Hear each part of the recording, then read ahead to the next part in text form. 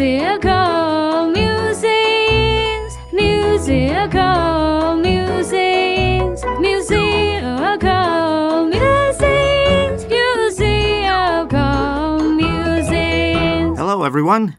Good afternoon, and welcome back to our latest episode of Musical Musings.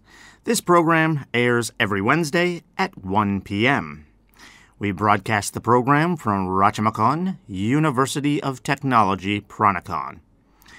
I'll be bringing you this program in two parts. In our first part, I'm going to introduce a song to you. We will talk about its main themes, and we will talk about the band or the singer that does the song. And again, we'll talk about the main themes, like what the song is basically about. Then we're going to listen to the song. And in our second part, we will go through the lyrics and we will focus on anything that might be a little bit difficult to understand, any difficult vocabulary or sayings. Then we'll get to the news and the latest updates from the university as usual. Musical musings, musical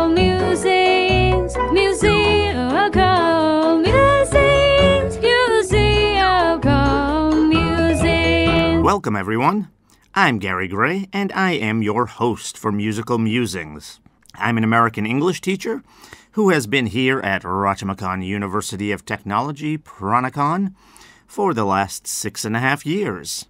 So I'll be hosting this program for you, and our song that we're going to be doing this week is called Freebird from Lynyrd Skynyrd.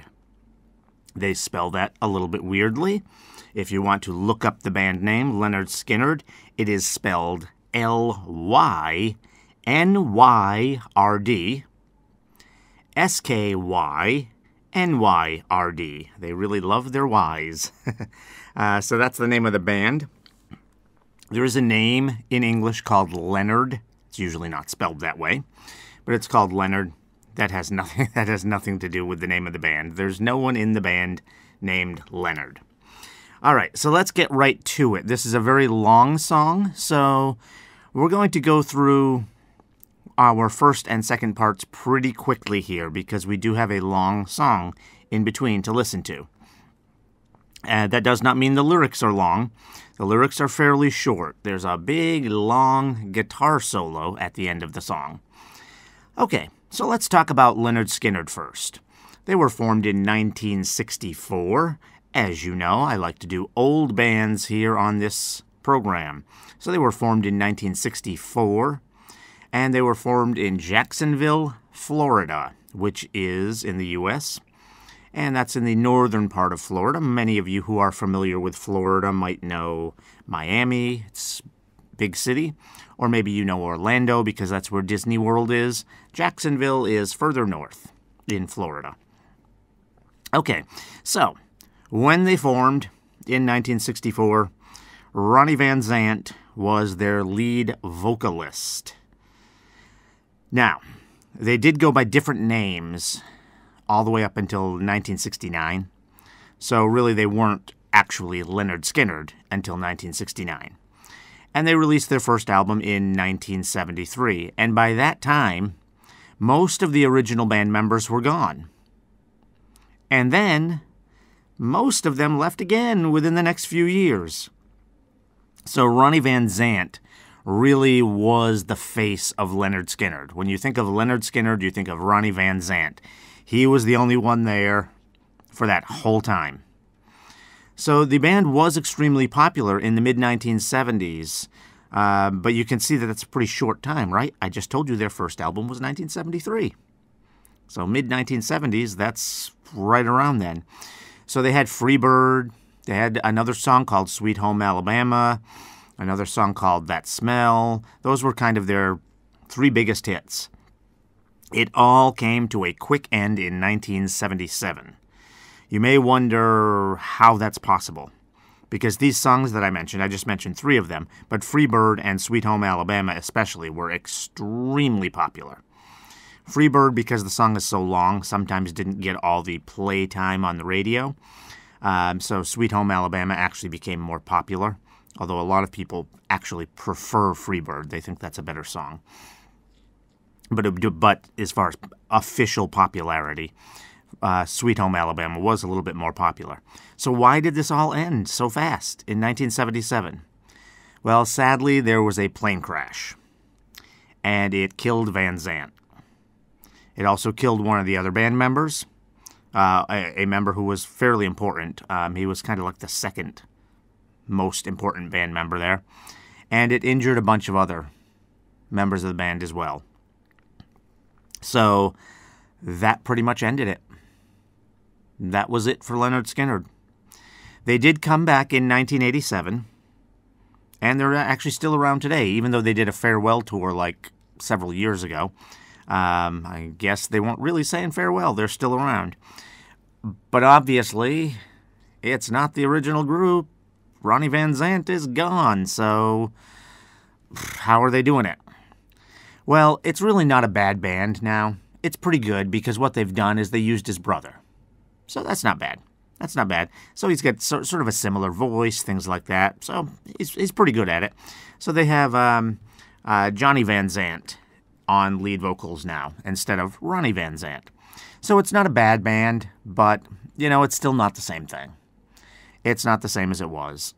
so they've never really regained that popularity back. And a lot of the songs that they perform in concert are a lot of their older songs because that's what people want to hear. They want to hear Sweet Home Alabama, they want to hear Free Bird, all those sorts of songs. Uh, so now, as far as their genre, you know, I don't really like talking about genres because they can get mixed. And in fact, this is one where they do. But they actually created their own genre. It is now a genre that people talk about, people know what it is. And really, Lynyrd Skynyrd was one of the first to do it. I'm not sure they were the first. There were several that came out around the same time um, and were kind of similar. But they were one of the first to come out with a genre called Southern Rock. It's rock music, but it's definitely got kind of a country vibe to it. There are a lot of other bands that do that. I mean, and and nowadays, most country music isn't like the old style of country music. Most of it has some rock element in it. So, music that we just call country music now, a lot of that is more like southern rock. Not all of it. There there were certainly some kind of more mellow, sad sounding singers out there who that would be more like just country.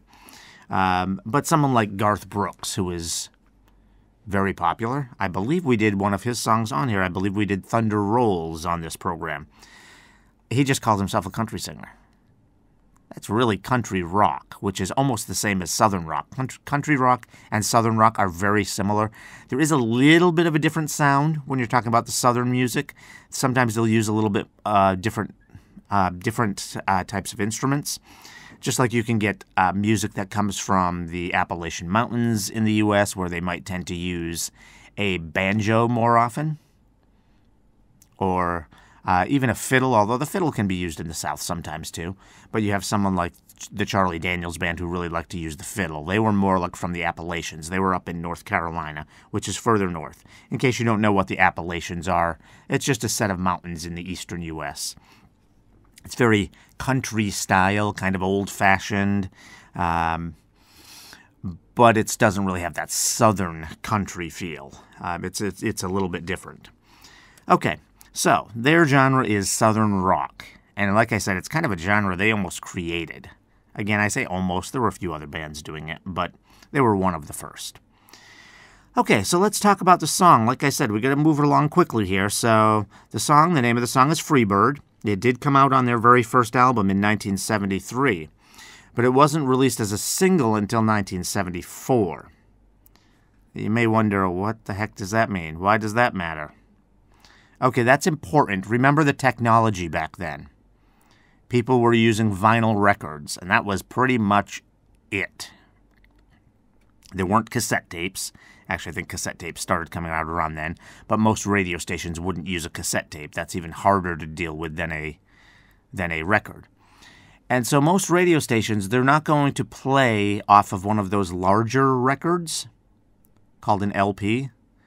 Because you have to place the needle down in the perfect spot and then lift the needle up when the song's over. That's re- that's that's really hard to do. You're not going to do that. They're going to play the smaller records called a 45. That's a single. So basically, the radio stations couldn't even hardly play Freebird in 1973 when it came out. There, there are, I think there were some ways that they would do that. I, I, I'm not an expert on radio stations. I think there were some ways they could do that, and maybe there were some demos, like like some test albums that were out there that maybe that some radio stations had. So I'm sure it probably did get some playtime on the radio in 1973. Otherwise, it would have never become popular enough for them to issue the single in 1974.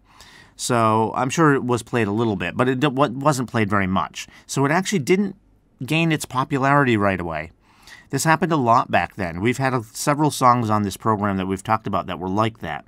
It's really weird because th- these days, nowadays, when music is so accessible, a song comes out and then it's immediately popular because then you can just stream it, whatever. You can just listen to that song rather than having a whole record you have to listen to.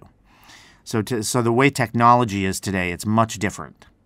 So back then, you could actually have a song that's been out for months and then suddenly becomes popular. And that's what happened here with Freebird. It was issued in 1973. But the single didn't come out until 1974, and it didn't actually even reach its peak popularity until the beginning of 1975. That's when it got into the top 20 in the US in January of 1975. All right. Like I said, we need to move along quickly. We've already probably spent a little too much time here on our first part. So, talking about the song itself, what it's about, that we can do quickly. It's a very simple song Freebird. If you had to guess what it's about, you'd probably be right. No, it's not actually about a bird. Okay, we'll talk about that a little bit in the second part as far as how we use that saying in America and in the West. But it's about being free. It's really as simple as that. It's about freedom. That's it. And it's kind of a big thing in America and in the American South, where these guys are from. I'm not really, I'm not, really so sure. I'd say that it's more free down there. It's probably less free, but uh, generally, most Southerners tend to think they're more free. So it's a really big deal in the Southern U.S., even though they're not, even though they're less free than the Northerners, I think. Uh, but anyway, so it, it's a big deal in southern part of America, the idea of freedom. So that's why they did the song. And it's just what it sounds like. It's about freedom. The song is a really good collaboration by the band members. A lot of, t- and every song is going to be a collaboration of the band members, right? They all have to get together, and a vocalist is usually not going to come up with all the music and things like that. So, of course, everything is a collaboration. But the way it came together was really pretty special. Like the guitarist had a bunch of chords, and, and Ronnie Van Zant was like, "That's that, that, that's not going to work. I can't put that to music. I can't put lyrics to that because there were so many chord changes." And so the guitarist went back and kind of didn't really change it. I mean, he had other parts that did work, so they worked on that. But then he didn't change that. But then when they were practicing the song, he played that, and then Ronnie Van Zant liked it, even though he couldn't do the lyrics to it. So Ronnie Van Zant was telling him, okay, can you extend that out so that the chord change doesn't happen so quickly so that I can get lyrics to it? And so they did that. And then they added in a big guitar solo at the end, which they simply did just to give Ronnie Van Zant time to rest. Because this is when they were performing a lot live. They were doing many sets. And so he needed time to rest his voice in between songs. And it ended up being one of the most famous guitar solos probably ever. The Freebird guitar solo. If you talk to any music any music lover, especially someone who likes rock music uh, in the US, and you ask them about Freebird, they're going to mention the guitar solo. And, and then the and then they had the piano player who added a piece at the beginning. Um, and, and they and they were really all these separate pieces that they all developed on their own. That's why I say it was a great collaboration because they put it all together at the end and came up with this incredible song. All right, so let's go to the song. Let's listen to this song. Uh, as usual, for those of you joining us on YouTube, you're going to need to click on the link on the upper right to go watch the video. This actually, there was never a real video made for this, so it is just a music only video. There's just a still picture with it. So if you just want to look the song up somewhere and listen to it elsewhere, you can do that as well. But we will have a link for you in the upper right to the video. And for those of you streaming or listening on radio, you should be able to hear it just fine. And if you're listening on radio, you're not going to miss anything with the video because there's no video. It's just the music. All right, so let's get to the song. Musical musings, oh, musical musings, oh,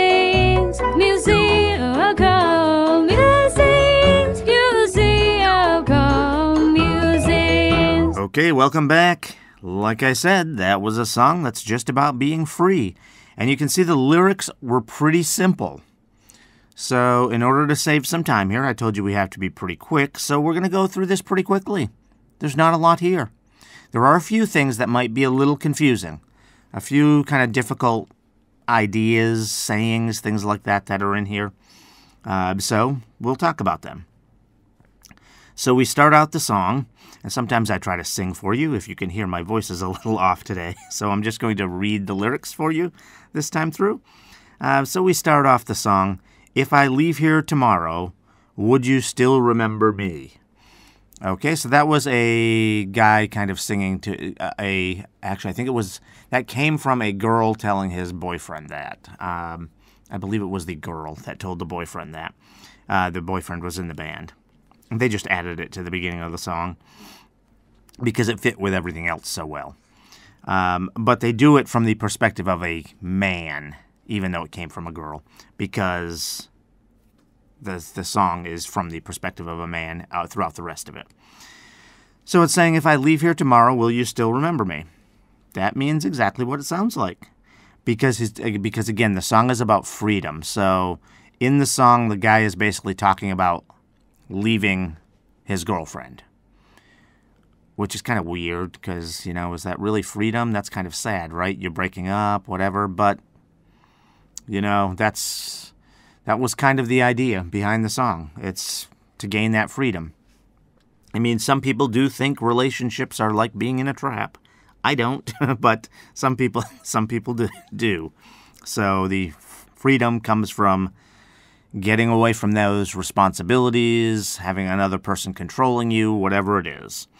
Uh, and if you and in the lyrics to the song, you can tell that it's not like he doesn't like his girlfriend. He just wants to be free. That's all. So if I leave here tomorrow, would you still remember me? For I must be traveling on now. Okay? When you say traveling on, that just means kind of like continuing. So it's time for him to go. Apparently, he's been traveling a lot, and now he's with this girl, and now he's saying, okay, I'm out of here. I got to keep traveling. So I must be traveling on now because there's too many places I've got to see. Okay, that's simple. So again, he's talking about traveling around. He wants to see the world. He wants to, he doesn't want to stay in that one place. And maybe his girlfriend has to stay there, maybe because of a job or whatever. So he doesn't want to. And that's why I say you can tell from the nature of the song, it's not like he doesn't like his girlfriend. He just wants to be free, so he wants to travel. And apparently his girlfriend can't. So he has to be traveling on now because there's too many places he has to see. Okay? But if I stay here with you, girl, things just couldn't be the same because I'm as free as a bird now, and this bird you cannot change. Okay, so he says things couldn't be the same if he stayed there. It's probably because he's not going to be happy. And so it's going to be a bad relationship. Because again, he wants to travel, he wants to go, he wants his freedom. And in fact, that's what he says after that. He says, Because I'm as free as a bird now, and this bird you cannot change. So all right, so here we do have a saying which is a little weird. What does that mean? Free as a bird. What does that mean? That is a saying we have in English. Just think of a bird. Flies through the sky. Goes anywhere it wants to go. Can fly anywhere. That's where we come up with the saying, free as a bird. Because birds are free. They travel anywhere. They're flying through the sky. So, because I'm as so I'm as free as a bird now, and this bird you cannot change. In other words, he knows he's not going to change. He, he his freedom is important to him. Like I said, these folks from the South, they they think they have the monopoly. They think they own freedom. Um, frankly, they're not that free, actually. Like I said, there are a lot of sort of like civil liberties, like things that people are allowed to do that we think of in today's world that in the southern part of the U.S. they still don't allow. Uh, they probably have the least freedoms of anywhere in America, even though a lot of people, when they think of America, they think of freedom. The southern part of America probably has the least amount of freedoms. But for some weird reason, the people that live there, they think they have, they think they have the greatest freedoms. Uh, so, this bird you cannot change. You know, he's a southerner. He's gonna be free his whole life. All right, then it repeats that line a couple times, and then it says, Lord knows I can't change. This is a very simple saying when you say Lord knows, but it may not be something you're familiar with because when we use the word Lord, that's kind of a Christian term. And here in Thailand, where it's more Buddhist, more of a Buddhist country, you may not be familiar with that saying. When it says Lord knows I can't change, that's almost not really a, a idiom. An idiom is where you say something where it doesn't mean exactly what it says. This almost does mean exactly that. It says Lord knows. In other words, God. Lord is the same as God. God knows. So basically, even God knows that he cannot change. So, uh, yeah, he's not going to change. He needs his freedom. Okay, we continue on. Bye bye, baby. It's been a sweet love. Yeah, yeah. So again, again, he's not hating on his girlfriend. He says it's been a sweet love. When we say sweet love, you think of sweet like sugar. We use that word sweet to mean like very nice in a loving way, kind of a so a sweet love is is very good. It's a very nice they had a very nice relationship together. Though this feeling I can't change. So again, he's saying he can't you know, he needs his. He, again, he's getting back to that whole thing about how he needs his freedom. He can't. He can't change how he feels. He loves her. They had some good times. They had a good relationship, but he's got to go. He's got to go. He needs his freedom. then he says, "Please don't take it so badly, because Lord knows I'm to blame." All right. When we say "don't take it so badly," when we say "don't take it," that saying means when he says don't take it so badly, it means don't feel bad. Don't feel badly about it. So don't be so sad. And then he and then in the next line he says why? Because he says because Lord knows again we have Lord knows again there. I'm to blame. So he's taking the blame because he understands. It's all about him. It's all about him, needs his freedom, wants to get going. That's why he's leaving. So it has nothing to do with her. So that's why he's telling her, don't take it so badly. So, in other words, don't feel badly about them splitting up. He's not doing it because of her. He thinks she's great. He loves her. He thinks she's wonderful. But he just needs to go. All right? So then it repeats the line we heard earlier. But if I stay here with you, girl, things just couldn't be the same because I'm as free as a bird now, and this bird you'll never change. All right, and that's pretty much all of it. Uh, we do have a little bit where it says, Lord help me, I can't change. Um, and then it ends with, Won't you fly high, free bird? Okay, when we talk about there, so that is one last little thing that might be a little tricky to understand. We understand free bird now, right? Okay, because birds are free. But uh, why is it important about flying high? Well, when a bird is flying high, it I don't know why. Maybe because the sky is so big and the bird looks so small from that high, it looks even freer. Think about a bird that flies really high. Like, think about if you see an eagle or a falcon in the sky. They're usually by themselves, really far away, so they look pretty small in the sky. All sky around them. They're just by themselves, going wherever they want. It just looks like freedom. Look, uh, they're just by themselves. No one to bother them, doing whatever they want. Everything is in their control. So when a bird is flying high, it's like an it's really like an emphasis on that free bird, on the bird being free. Okay, and then like I said, the song has a big long um, guitar solo at the end, and then that's that. So that's all for this song.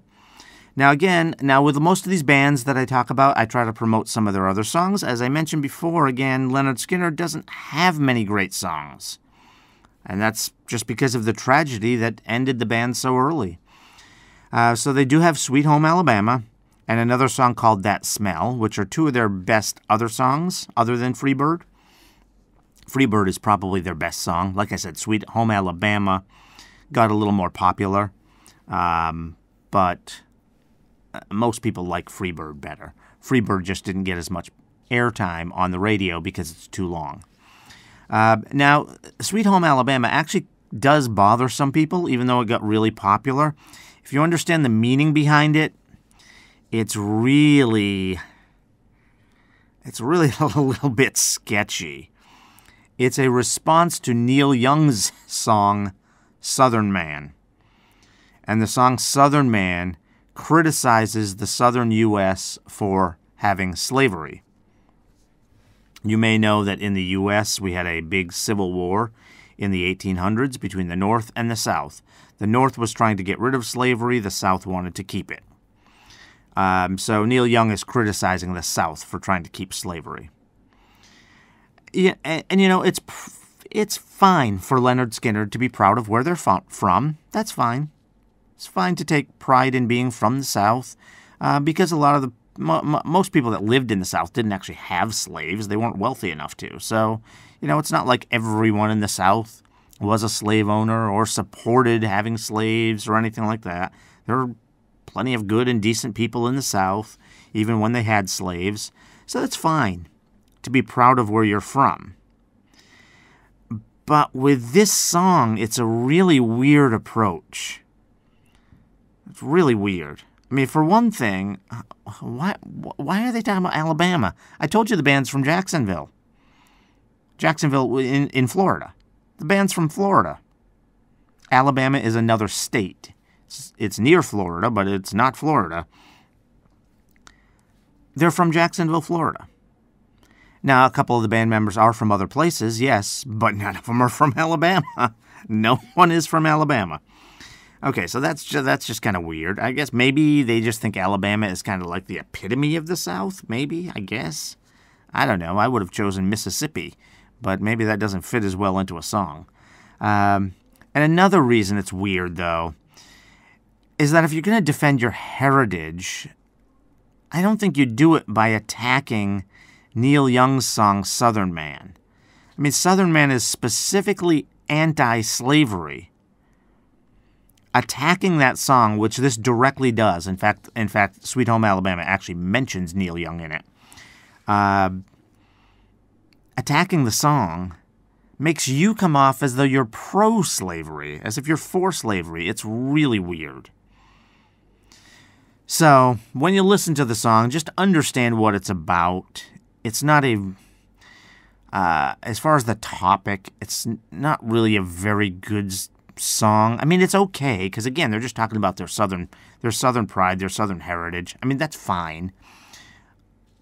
The way they do it is rather, yeah, you know, distasteful. I mean, it makes it sound like they're in favor of slavery. I'm sure they were not. I'm sure they were not.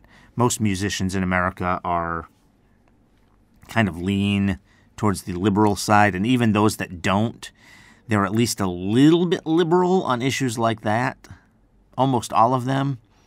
Like, for example, Charlie Daniels is another guy that's kind of a. He's more of an Appalachian kind of country rock singer. Uh, more than Southern rock. Uh, we did hit, we talked about him before on the show, but it's very, very similar. And he's conservative, Christian guy, and even him when it come to, came to issues like this, he was pretty open-minded, pretty liberal on an issue like this. So, uh, so I, am sure the Lynyrd Skynyrd guys were not being pro-slavery, but that's the way it comes across. It's really a weirdly executed song. So if you listen to the song, just understand that. Understand what it's about. But I have no problem with anyone listening to the song because, again, I don't think that's what they meant anyway. You're not supporting a slavery song. That's not what they were. That's not what they were trying to trying to do there. They just didn't write it that well. But that's the lyrics. The music is actually quite awesome. It's a great song. As I told you before, it became even more popular than Freebird. I do think Freebird's better. I explained to you why why Sweet Home Alabama became more popular.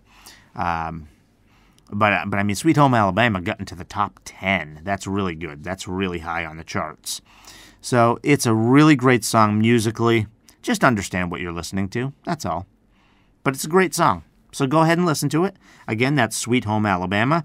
Their other big hit, That Smell, was a little bit less popular. It's pretty weird. I mean, that smell? What are they? What are you talking about? A smell? That's a weird thing to write a song about, and it is kind of weird and unique. It's a, it's a bit of a weird song, but it's also worth checking out. It's a, it's a kind of a fun song. It's uh, the music again. The music in that song is great. Uh, these guys were fantastic musicians. Their music was awesome. So uh, go ahead and enjoy their music. Go look them up. Again, it's Lynyrd Skynyrd. L Y N Y R D S K Y N Y R D. Lynyrd Skynyrd. Thank you for joining us for today's Musical Musings program. Please stay with us and make sure you tune back in next week for another great song. And please don't forget to subscribe to our channel. Thank you. Musical musings, musical.